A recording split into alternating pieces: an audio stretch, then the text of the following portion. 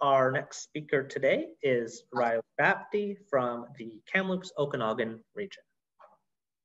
Thank you. Thank you, Mr. Chairperson. When the population reaches 9.8 billion people by the year 2050, how on earth will we feed all those people? Good morning, honorable judges. My name is Riley Bapty. I'm 17 years old and I've been a part of the Armstrong B4H Club for four years. Today I'm going to talk to you about the future of farming, agri-tech, and innovation. I have to admit, when first introduced to all the new technological and robotic ideas, I was opposed. My first thought was all the jobs that would be lost. However, after much contemplation, I thought back to when fields were plowed by horse and planted by hand and the difference in production when tractors were introduced in the late 19th century. I think many farmers may feel the same dislike towards moving away from tradition. However, the reality is we are trying to feed an ever-growing population on a shrinking land base, and it is extremely important that we use technology to our advantage. This is how we are going to feed such a huge population. So why not embrace it and be part of the huge change moving forward? With the next generation focusing so much on the environment, and rightly so, these technological advances are how we are going to have more sustainable, environmentally friendly agriculture. For example, experimental inland fish farming produces locally grown saltwater fish to people off the coast. The waste produced is reused, and the farm powers itself. This environmentally friendly inland fish farm also reduces food miles, cutting down on carbon emissions. Fish farms on the coast have been known to spread disease to healthy wild fish. And while inland fish farming may not be able to be the sole supplier to landlocked people, it sure helps. Minimizing the use of antibiotics to combat antibiotic resistance is extremely important.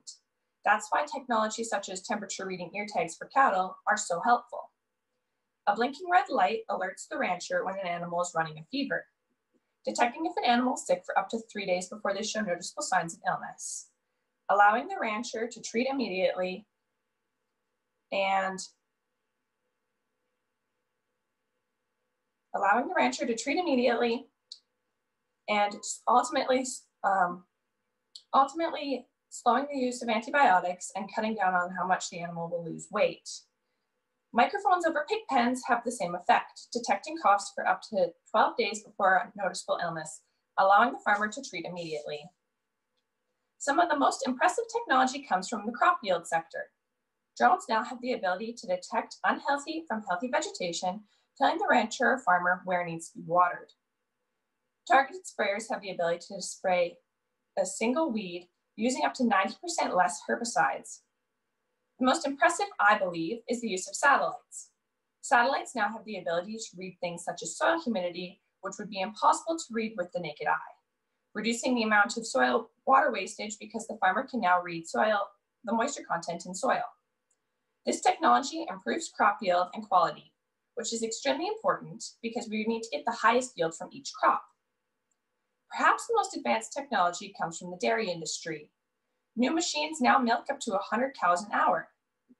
Machines can detect the quality of milk and what alterations need to be made to their feed. Health problems are detected faster by thermal imaging. Things such as the removal of manure are now done mechanically. So much of the herd information can be found on the farmer's smartphone or computer. Farmers can now have a smaller herd and get just as much milk as they would have from a larger herd just a few years ago. All these not only improve animal welfare, but the quality of life for the rancher as well, allowing them to spend more time with their family and friends. This the most controversial technology today, GMOs, allowing us to be a more flood and drought resistant planet, use less herbicides and pesticides, give us the ability to produce more food in a smaller area, add more profit and value to our crops, and overall be more food, have more food security. Some corn is genetically modified to produce a toxin killing harmful insects, resulting in less use of pesticides and slowing the growth of harmful bug populations, and ultimately leading to a more successful corn crop. Recent advancements in GMOs allow a single gene to be changed, as opposed to older methods such as transgenic modifications that had uncontrolled alterations to large regions of DNA. This advancement may also curb some of the concerns surrounding GMOs given that it allows for more control. Personally, I couldn't be more excited to be a part of an era with so much growth and change. While moving away from tradition is a daunting idea, it allows for so many ideas to grow. And luckily for us as youth, we get the privilege to have such a, played such a huge role in it during our lifetime. BC is one of the leaders in technology and innovation in the agriculture industry. We are so fortunate to live in a province with so much diversity in its landscape and brilliance in its minds. By the year 2050, the world population is projected to be at 9.8 billion people. In order for us to make such a big change, we need to start right now. Finally, it is important to remember that technology is a tool, not a replacement. It improves herd health and animal welfare, our quality of life, sustainability and efficiency, crop yields, and our production towards feeding the next generations.